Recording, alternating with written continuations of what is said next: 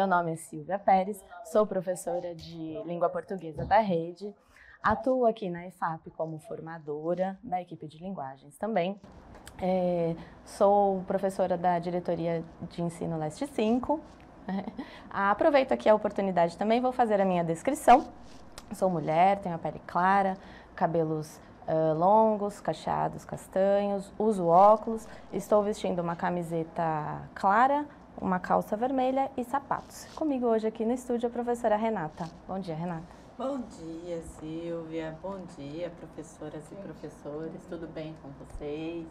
Bom, eu sou também professora de língua portuguesa da nossa rede, sou da DE lá de Limeira, da Escola Marcelo de Mesquita lá em Peúna. e vou aproveitar aqui e fazer minha autodescrição também. Eu sou uma mulher uh, de pele clara, cabelos castanhos, uso óculos e hoje estou utilizando uma camiseta. Perdão. Hoje estou utilizando uma camiseta verde com uma calça verde e um tênis branco. Seguimos então. Seguimos Vamos lá? Então, para a nossa formação de hoje. É isso. A nossa formação de hoje, só volta um pouquinho, ela tem o tema, né, uh, de percurso formativo. Uh, não volta mais um. Bom, é, a gente vai chegar no tema então na nossa pauta. A gente vai iniciar comentando um pouco com vocês sobre os percursos formativos lá dos aprofundamentos curriculares, né? Uh, então, a gente tem as unidades curriculares que estão sendo trabalhadas nas escolas e a gente tem aqui, então, alguma, alguns lembretes sobre esse processo de estudos e de organização que está sendo realizado por vocês nas unidades escolares. Uh, em primeiro lugar, a gente gostaria de destacar a importância do acesso aos materiais sobre uh, os aprofundamentos curriculares que ficam disponíveis no nosso AVA EFAP. Né? Então, a gente preparou aqui um tutorial rapidinho, só para mostrar para vocês onde esses materiais se encontram, né? onde é que eles ficam lá uh, uh, acessíveis para vocês. A gente tem então o endereço do nosso AVFAP, é esse que está aqui na tela, né? Acessando por esse endereço aí do AVFAP de número 2, é o mesmo acesso do AVFAP que a gente tem lá para cursos, né? É só colocar o seu login a sua senha, uh, geralmente CPF e CPF. Quando a gente acessa, então, com o nosso login, esse espaço, a gente tem ali todas as possibilidades, né? Trilhas, cursos, percursos, apoio ao centro de mídias. Para a gente localizar esse material da, dos aprofundamentos curriculares, a gente acessa ali primeiro em percursos. Né? E aí, clicando em percursos, a gente chega, pode montar o slide a gente chega em todos os aprofundamentos, todos os materiais é, e outros percursos formativos que tem aí disponível no AVA também. Né? Mas como a gente quer destacar hoje o aprofundamento curricular, a gente tem na tela, então, recorte das três possibilidades, né? Do, do aprofundamento curricular, em que tem o material de apoio da unidade curricular 1, da unidade curricular 2 e também já da unidade curricular 3. Selecionando uma dessas unidades curriculares, a gente chega então aí no conteúdo uh, disponível para vocês, referente aos aprofundamentos curriculares e aos materiais de apoio. Né? Então, a gente tem ali componente por componente, atividade por atividade, vídeos trazendo uh, detalhes, informações sobre o que vai ser abordado, sobre o que está sendo desenvolvido nesse componente, nessa atividade. É, o exemplo que tem aqui é o do hashtag se liga na mídia, né? Tá na mídia, tá no mundo. E aí, esse é, o primeiro, é a primeira forma de acesso que a gente tem é, para chegar aí nos, nos aprofundamentos curriculares, né? Pode seguir. Existe também uma segunda maneira de acessar esse material, que é pelo uh, site do Novo Ensino Médio. Então, a gente tem ali também ó, o, o link de acesso, para esse site, que é novoensinomédio.educacau.sp.gov.br. Né? Uh, acessando o site, então, é, tem as informações do novo ensino médio, tem né, diversas outras informações, dentre elas ali o item formação complementar sobre as unidades curriculares. Chegando nesse item, é, tem ali também disponível, assim como a gente já viu lá na página dentro do AVA, unidade curricular por unidade curricular seguinte. É, selecionando, né, em um, um dos mapas já ali, né, da unidade curricular 1, 2 ou 3, ah, esse acesso ele já encaminha a gente lá para o AVA EFAP, para os conteúdos que estão disponíveis lá dentro do AVA já. Quando a gente clica na unidade curricular de número 4, a gente ainda não tem é, tudo isso organizado dentro do AVA, mas os vídeos, né, na mesma lógica, seguindo os mesmos parâmetros da, do conteúdo que já está organizado no AVA, é, tem a playlist no YouTube. Então é possível vocês acessarem já os vídeos, enfim, né? com as informações uh, sobre, as, sobre esse material e as unidades. Volta só um pouquinho. Eu acho que só para lembrar, então, gente, desse material que a gente comentou, né? É, ele é todo, esse material ele é feito todo em cima dos mapas, né, com base nos mapas, então as atividades, os conteúdos já estão ali dentro desse material e esses vídeos são um apoio, um norteador a mais para este momento de organização e de planejamento dessas aulas, né? Pode seguir.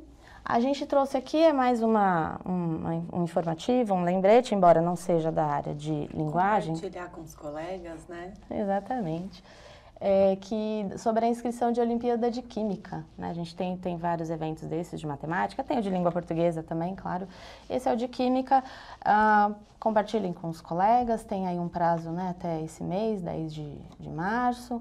E eu acho que assim um detalhe ali que eu achei interessante nessa divulgação da Olimpíada de Química é que os estudantes, para se inscrever, precisam fazer uma redação na escola.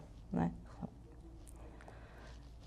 Então é bem parecido com, considerando a redação, com o de língua portuguesa também, né? Também. Pronto, aí sim, agora chegamos no título da nossa formação, né? que é a formação continuada. A gente vai começar a falar um pouco dessa, desse tema que a gente organizou para hoje. Né? Pode ser.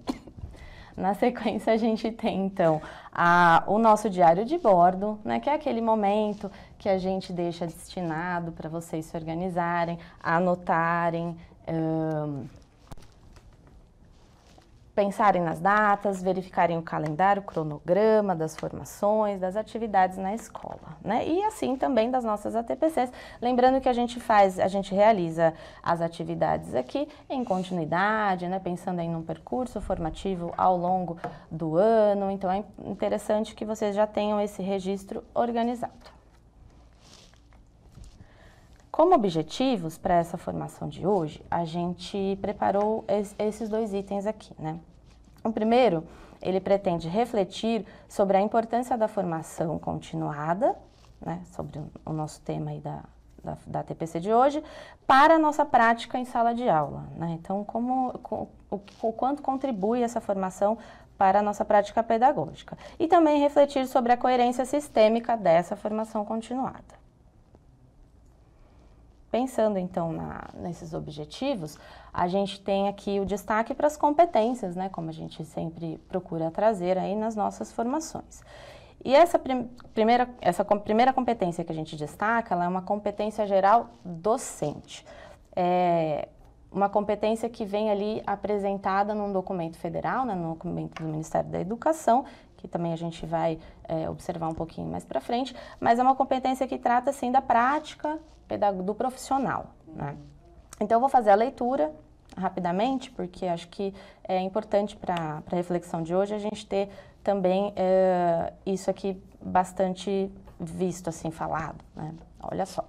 Valorizar a formação permanente para o exercício profissional, buscar atualização na sua área e afins apropriar-se de novos conhecimentos e experiências que lhe possibilitem aperfeiçoamento profissional e eficácia e também fazer escolhas alinhadas ao exercício da cidadania, ao seu projeto de vida, com liberdade, autonomia, consciência crítica e responsabilidade. Né? Além da competência docente, a gente tem também a competência. Competência geral Opa. 6 que elas vão dialogar, né? As, as 10 competências gerais da BNCC, do currículo, dialogam lá com as competências da formação docente. Então, elas estão aí relacionadas, né? Uma vez que essa busca valorizar a, a diversidade ali dos saberes do estudante, tendo em vista essa reflexão crítica, o projeto de vida dele. E aí a gente tem também as socioemocionais, né? Exatamente. Então, as competências, elas estão em articulação, né? Tanto as competências gerais docentes, quanto as competências da BNCC, reiteradas ali pelo currículo, e as competências socioemocionais, né? Que são essas 17 competências que a gente já é, vem trabalhando ao longo aí da nossa formação, é, categorizadas ali nas cinco macrocompetências. Né? Então, são, essas, são esses itens de articulação que a gente traz aí para o início da nossa pauta, né? E aí, para a gente uh, fazer aí uma primeira reflexão inicial, né, tendo, tendo em vista que uh, o nosso processo de formação se inicia lá, né, aliás, se inicia na formação inicial, se inicia a partir ali da graduação, uh, nós temos então um nossa primeira interação para vocês dizerem aí uh, uma palavra ou uh, uma reflexão, né, no, sobre o que foi, como que, quais são as memórias que vocês têm dessa primeira, dessa formação inicial de vocês, né? Que palavra poderia ser utilizada para descrever esse momento uh, que vocês passaram nesse período da vida de vocês?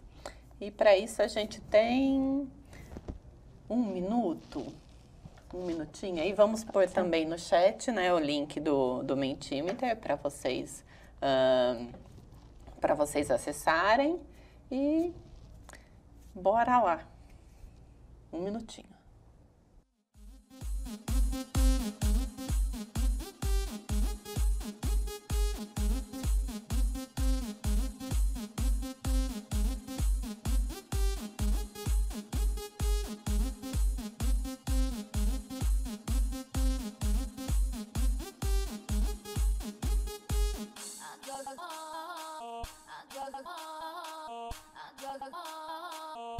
I go, I go, I go, I go, I go,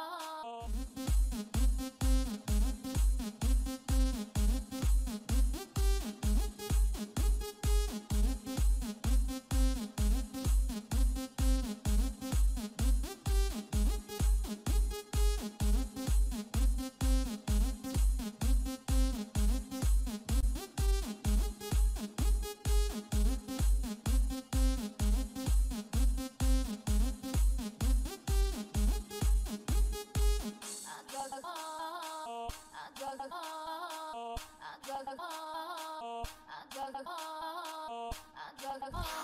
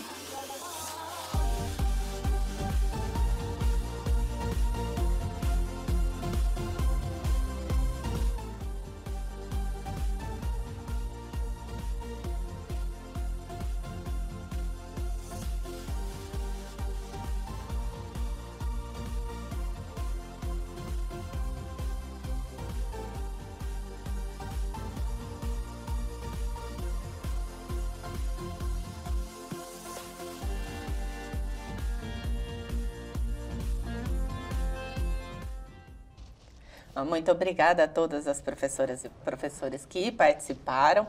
Agora a gente vai projetar aqui, vou projetar o computador para vocês uh, poderem acompanhar aí como que se formou essa nuvem de palavras a partir uh, dessas palavras que vocês inseriram. Então, nós temos ali algumas palavras uh, que apareceram. nós temos algumas palavras que apareceram mais, né? Ali o conhecimento desde o começo uh, ficou bem central ali, bem presente, né, nessa compartilhamento de, de palavras, de, né, de retomada do que foi essa formação inicial. Conhecimento, empatia, aprendizado, dedicação, estudo. São muitas as palavras que retomam isso. Na né? abertura ao novo aqui também, ó, projeto de vida. Hein? Foco, foco né? Foco. Tem aparecido. à medida que vocês vão colocando, vai se alterando a nossa nuvem aqui. Então, ó, é bem, é bem, é bem interessante como a, como a formação inicial, naquele né, momento de graduação, ele vai, ele é significado, ressignificado de diferentes formas uh, por nós, né? À medida que a gente uh, começa a, a, a, trabalhar, né? Começa a, a lecionar. Bom, para a gente, a partir dessa, a partir dessa, dessa primeira, né, dessa primeira interação que a gente teve aqui, nós vamos então, a gente volta para o nosso, para o nosso slide para conversar um pouquinho sobre a nossa rede, né, Silvia? Exatamente. A nossa rede, esses, esses dados são dados que estão disponíveis uh, na da secretaria, são dados públicos, tá? E o recorte que a gente utilizou aqui é do final, é de novembro uh, de 2022, que eram os últimos dados que estavam ali disponíveis para ao público, né? Então, a nossa rede é composta uh, de 71% né, das, das professoras, aliás, de professores, né, 71% de professores da nossa rede é composta por mulheres. E aí, grande parte, né, como a gente vai ver no slide seguinte, uh, tem ali entre 40 e 49 anos. Uh, e aí a nossa intenção aqui é refletir um pouco né, sobre como estamos aqui começando o mês de março. Mês de março, semana que vem, nós temos o Dia Internacional da Mulher. Não é só um dia de comemoração, mas é um dia de, de muita de luta, de reflexão, né? E aí, um, acho que é um momento talvez assim interessante para a gente refletir sobre como que assim, como que compo, como que a nossa rede é composta e como que isso reflete nas nossas práticas uh, e nas nos demais aspectos que acabam perpassando a nossa rede, né? Sim. É, são dados interessantes, né, importantes para a gente conhecer. E a fonte dele também, né, da, da no, do próprio site da educação, tem outras informações, né? Acho que a gente destaca esses dois pontos aqui, mas tem outras informações que podem ser consultadas também, né? Ah, sim, tem. Tem várias outras informações ali que a gente, né, a gente acabou fazendo esse recorte específico, específico né? né? Considerando esse primeiro de março. E aí nós vamos, uh, uh, posto nessa, né, esse perfil da nossa rede e como que, uh, à medida que a gente, acho que, for discutindo sobre formação continuada, como que esses aspectos de gênero e de idade acabam afetando, né? Acabam alterando o nosso processo de formação. Então, a intenção é refletir sobre esses momentos que nós nos encontramos, assim, na nossa vida. Uh, para agora começar, para vamos lá, para uma segunda interação, então, vocês colocaram lá quais eram, né, ou uma palavra, ou mais palavras que uh, indicavam o que foi a formação, né, uma reflexão sobre a uhum. formação inicial. Agora nós vamos fazer outra para formação continuada, né, Silvia? Exatamente. Segue aqui. E aí, para isso, nós temos mais um minuto? Mais um minuto.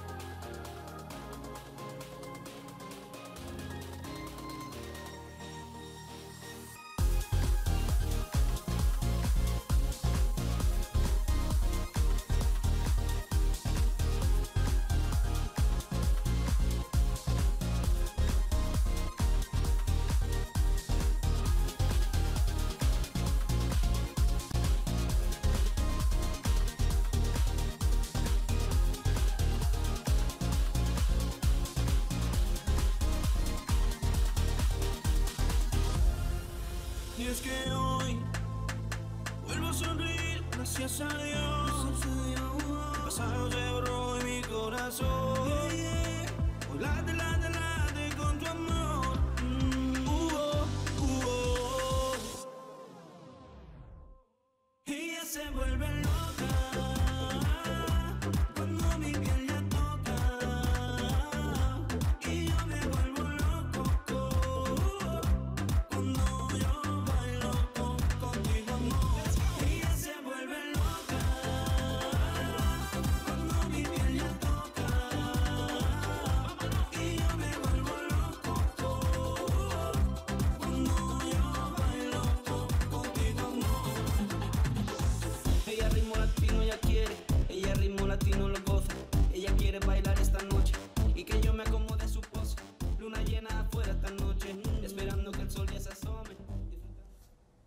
Mais uma vez, muito obrigada a todas as professoras e professores que ah, responderam aqui, que interagiram. Então, nós vamos projetar de novo ah, a, a nossa nuvem de palavras sobre formação continuada. E é interessante ah, notar, né, verificar como que as palavras foram se alterando. Então, embora ah, conhecimento esteja lá também como uma das palavras que mais apareceram, outras palavras vão aparecendo. E aí nós temos aí também, ó, na tela, nós temos engajamento, aprendizado, dedicação, estudo, desenvolvimento, persistência, sabedoria. São muitas se configura de um modo bem diferente da outra, né, Silvia? Bem diferente. E a gente vê que a empatia ali aumenta, né? Ela tá Uhum. central e aumenta. E tivemos também aqui muitas manifestações no chat e tal. Não, não, que a gente não vai ter muito tempo aqui, né? Suficiente para fazer a leitura do chat. Mas também eh, em diálogo com o que já aparece aí na nuvem, né, Renata? Isso, sim. Ah, bom, e aí nós seguimos então para a nossa, a nossa reflexão aqui, ela se inicia, aliás, ela dá continuidade, né? Ela já iniciou faz um algum tempo, né? Desde o começo. A partir dessa da perspectiva histórica, né? Do que foi se configurando como formação continuada. E ah, esse recorte que nós fizemos ah, foi fundamentado num texto que está lá no nosso, lá no Saiba Mais, no final da nossa apresentação, né? A partir do Saviani. Então, considerando esse recorte feito por ele, ah, nós temos aqui ah, o começo dessas discussões né, sobre formação continuada, iniciada lá em 1794, que se tem uma proposta inicial de formação. E aí a gente vai ter a primeira escola instalada lá em Paris em 1795. E disso vão surgir outras propostas, vai se ampliando, tem, ah, vai se ter uma escola também em Pisa, ah, as escolas lá vão se principalmente né, nesse momento na Europa, vão se ampliando as discussões ali sobre formação. E aqui no nosso país, ah, nós temos, podemos dizer que nós temos como marco, né, o Manifesto da Escola Nova.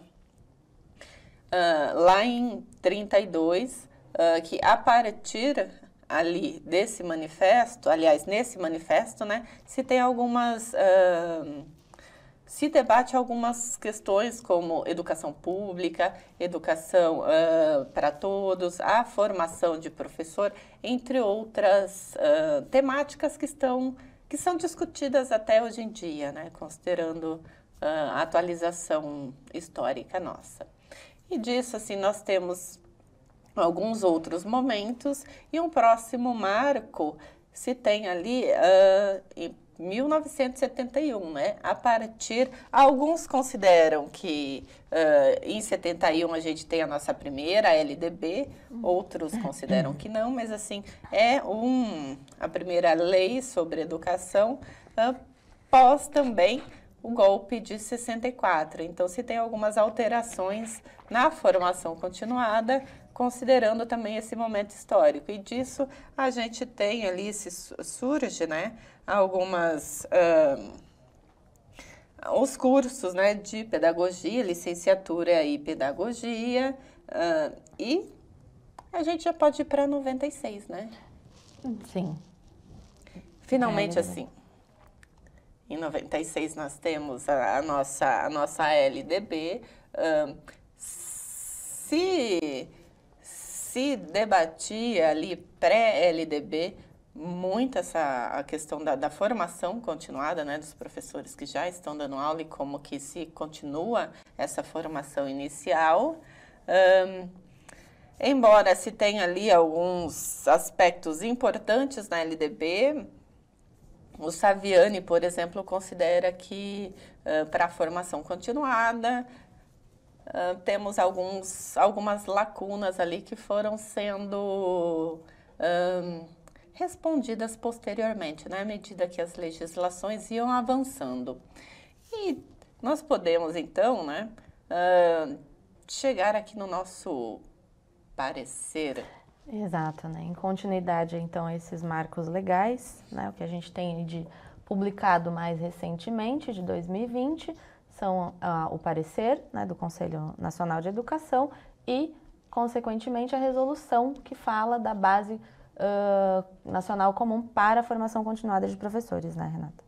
Isso, então ah, nós temos né, a nossa em 2018, né, como sabido, conhecido de todo mundo, a BNCC. BNCC. E a partir disso se tem uma também, considerando ali as competências para a formação inicial e para a formação continuada. Ah, principalmente as próximas ATPCs serão abordadas esse, esse documento nessa formação continuada via ah, esfera federal, mas aqui vamos né, iniciar essa reflexão sobre, né? E, além dessa perspectiva histórica que nós temos, nós temos também, assim, ah, à medida que nós vamos avançando socialmente, os objetos, os interesses ali, as necessidades sociais vão se alterando. E disso nós temos a nossa ressignificação dos saberes, né? Então nós trouxemos aqui, nós temos aqui alguns exemplos dessas ressignificações ao longo desse percurso histórico. Então, por exemplo, o nosso primeiro aqui, dos objetivos, as competências e habilidades. Ah, até, até mais ou menos ali 1990, né, pré, pré-PCN, pré-LDB, até LDB ainda trazia, se ah, focava, se focava o ensino a partir dos objetivos, né? Se tinha lá os objetivos de aprendizagem, os objetivos de ensino. A partir dessa legislação, dessa, desse, dessa dimensão né, ah, legal, se foi direcionando os, o ensino para as competências e habilidades. Também isso está em articulação lá com, com, ah, com órgãos internacionais né, que debatem, ah, que influenciam a construção de políticas públicas tal. Nós temos então o nosso currículo paulista totalmente pautado por ah, competências e habilidades. Embora o nosso currículo anterior, né, Silvia? Nosso currículo anterior também já tinha, né? Já tinha lá as habilidades, se tinha acho que também os objetivos, né? Mas se tinha, já se falava em competência e habilidade, né? E aí o nosso paulista ah, enfatiza mais, é fundamentado, é estruturado a partir da noção de competência e habilidade, e aí se tem né, um direcionamento, poderíamos dizer, né, para o estudante, né, enquanto o objetivo muitas vezes vai para a prática pedagógica, o, o competência e habilidade vai para, né, tem como foco o estudante. Um outro exemplo aqui, e já relacionado à língua portuguesa, né, ao componente, embora seja fundamental a área de linguagens, eh, diz respeito aqui à, à língua portuguesa principalmente, mas é importante para todos ah, para todos os componentes. Então, nós tínhamos né, a língua, a, a concepção de língua enquanto comunicação. Então, ah, se falava muito né, que, a, a, que a língua tinha que, ah, que nós tínhamos que falar, que ser, ter uma com, comunicação útil. E isso veio principalmente por influência da, da ditadura militar, né? que se falava que o, a população ali, né, quando começou a ampliar o ensino, que a população precisava falar adequadamente. E aí disso uh, se tem essa questão da língua enquanto comunicação. Atualmente, uh, nós temos uma ampliação dessa perspectiva de, de linguagem, né? Uh, desde os PCNs, né, o Currículo Paulista reitera o, a a BNCC, que reitera os PCNs da linguagem uh, enquanto enunciativo discursiva. E o que, que isso significa para além da comunicação? Que nós vamos né, nos constituindo, não é só comunicação, mas é a linguagem que uh, a partir né, na e a partir dela nós vamos nos constituindo, nos tornando né, seres humanos. Exato. Então não é só apenas né, a comunicação é, com o outro, né, como a gente tinha, assim, comunicar efetivamente, mas as teorias elas vão avançando e claro que em relação ao outro, mas não só na maneira de comunicar, né, efetivamente, mas do considerando o lugar do outro, considerando essa perspectiva enunciativa discursiva, né, que você não trouxe. Não é só externo. Exato. É também não é interno. Não era só Nossa. essa questão do locutor, interlocutor É. e é, enunciador, enunciatário, né? De, É. de você ter com quem falar, né? E o que falar, né? Acho que é considerando ambas as partes agora, né? Ter o que falar, com quem falar, considerando os papéis e os lugares desses, desses eh, participantes. Exatamente. Totalmente Geraldi. Adoro essa fala do Geraldi quando ele fala isso. Você trouxe muito bem isso. E aí, um outro exemplo também, né? Aqui já mais específica ainda sobre língua portuguesa é que se tinha muito foco na gramática normativa, né? E Hoje nós temos um ensino pautado nos gêneros discursivos, né? Considerando agora, né, uma outra atualização dos, do nosso currículo a partir da BNCC é a consideração aos campos de atuação. Então, dos PCNs, dos PCNs, nós tínhamos ali os gêneros. Agora, nós temos esses gêneros inseridos ah, nesse campo nesses campos de atuação. Uma outra dimensão também é como o digital foi alterando a nossa prática, né? Ahn, principalmente aqui considerando os campos, o campo jornalístico midiático, se tem uma alteração significativa, né, de como as notícias vão se alterando, ahn, aparecem ali a problemática das fake news, da pós-verdade.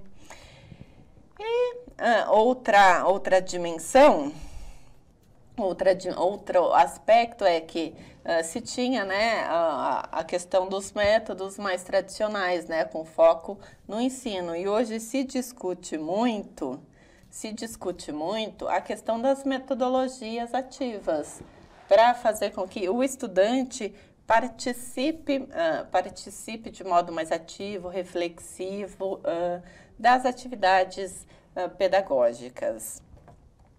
E ah, seguindo, seguindo aqui, seguindo dessa pers- opa, seguindo aqui dessa perspectiva epistemológica, por exemplo, ah, nós estamos aqui, né, Silvia, vendo vários comentários no chat. ah, e são todos comentários muito importantes e são comentários que a gente pode, ah, pode trazer aqui para reflexão agora sobre a, a BNC, a BN, BNC de formação continuada. Ahn, a gente tem né, toda essa alteração histórica, epistemológica, e agora nós temos uma legislação federal que fala sobre a nossa formação. E aí, essa legislação, s- nós podemos considerar cinco aspectos fundamentais que ela traz. Então, nós temos o primeiro, assim, ela será abordada ah, também na nossa próxima, né. Uhum. a TPC. Então, nós só vamos passar aqui, ó, ó, bem rapidamente, né? Mas são dimensões fundamentais para a gente ah, refletir sobre. Como o foco no conhecimento ah, pedagógico ah, do conteúdo, então aí a gente retoma essa perspectiva epistemológica, né? Porque a construção desse, desse percurso é importante, né? De como vai se alterando esses objetos do conhecimento. Se debate muito a questão das metodologias ativas do trabalho colaborativo entre pares, da duração prolongada da formação e da coerência sistêmica. Então, muitos dos comentários que estão aparecendo aqui no chat, Silvia, a gente pode considerar como parte assim dessa da importância da reflexão sobre coerência sistêmica, como que ah, a nossa formação se dá dentro do, do, do nosso ambiente de trabalho, da nossa sociedade na qual estamos ali inseridos, né? Exato. E podemos seguir? Podemos seguir porque a gente vai voltar nesse tema, né? na- nessa questão da legislação em outros momentos, né? E aí acho que a gente segue com a questão ah, do que se propõe aí, né? A partir de tudo isso, dessa, dessa, desse percurso histórico que nós fizemos até o momento aqui, né? Das legislações que pautam toda essa prática profissional, o que ah, se prevê, né? o que se pretende é, o docente do século XXI. Exatamente. Posso só fazer uma, uma interromper assim? Te- Teve uma pergunta interessante. É BNC ou BNCC? Então, BNCC é o documento normativo federal que a gente ah, que é estruturado considerando todas as, as aprendizagens essenciais do estudante, né? E a BNC ah, é o documento legal aprovado aqui ah, em 2020 que fala sobre a formação continuada dos professores que de certo modo, né, essa a BNC é estruturada, estruturada não, é elaborada, né, é, É, fundamentada na BNCC. Então, nós temos a BNCC para os estudantes e a BNC para nós, professores. isso. E Aí a gente volta para a questão do o docente do século um. XXI. E aí, assim, fica. Já estamos quase, quase próximo ao finalzinho da nossa TPC, mas ah, é um momento de, acho que, ah, de, de reflexão, né, Si- Silvia, sobre essas temáticas. Quais são os desafios que nós, docentes, temos no nosso contexto atual? Temos para 2022, temos enquanto rede pública de ensino, quais são as expectativas que nós temos também, ah, quais são as possibilidades ali, as competências e habilidades a se desenvolver, as já desenvolvidas, né, quais precisam ser exploradas, como que nós vamos, ah, como que nós precisamos nos articular para fazer com que a, o nosso papel na sala de aula, né, na escola, ah, seja significativo para os estudantes e para nós, professores também, porque aí a gente pode ah, retomar lá a nossa, a nossa nuvem de palavra, aqui, ah, no- lá, retomando a nossa nuvem de palavra aqui no, sobre formação continuada, ah, muitas palavras que apareceram ah, muitas palavras que apareceram como desenvolvimento, como vocês podem ver aí na tela, desenvolvimento, persistência, conhecimento, empatia, dedicação, muitas, ah, muitas dessas palavras são importantes para a gente ressignificando o nosso processo, né? o nosso, a nossa formação né? continuada, a nossa formação pedagógica. Exatamente. né? E aí a gente tem ali é, palavras muito importantes que a gente encontra também, né? Não só ah, aqui na nossa, né, na- nas nossas reflexões da formação, mas também nos documentos, nesses marcos legais que a gente viu. né? Bom, Seguimos? seguimos então. Então, nós temos ó, como uma sugestão aqui, né, Silvia? Sim, O texto aí do Saviani, que se chama Formação de Professores, Aspectos Históricos e Teóricos do Problema no Contexto Brasileiro. Temos também um, um vídeo que está disponível no YouTube falando sobre a história da educação, né? A complexa questão da formação de professores.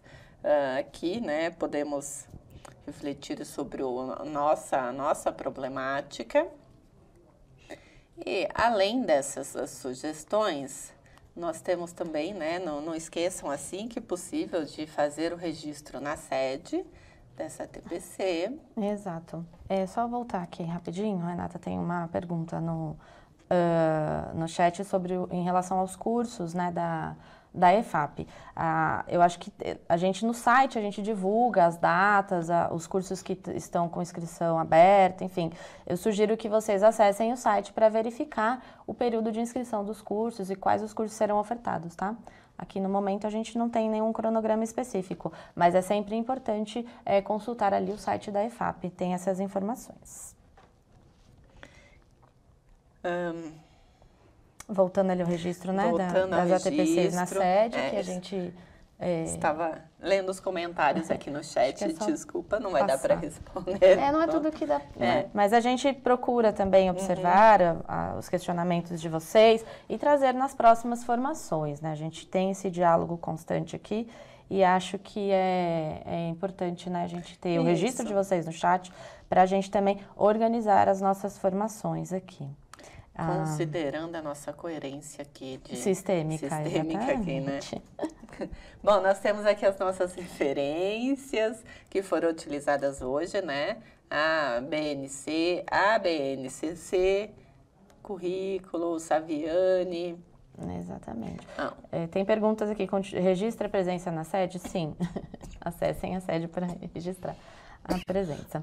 Eu acho que o, o site, os, perdão, os slides seguintes, eles são de, ah, de apresentação da equipe, né? Então a gente tem aqui dos formadores da área de linguagem, os nossos diretores, coordenador, ahn, a nossa equipe é a mesma do ano nossa passado. equipe é a mesma. Continuamos aqui com vocês. Letícia, Alexandra, Ana, Débora, o Elton, a Kátia, a Priscila, eu, a Silvia, a Rosa e a Vivi. Isso.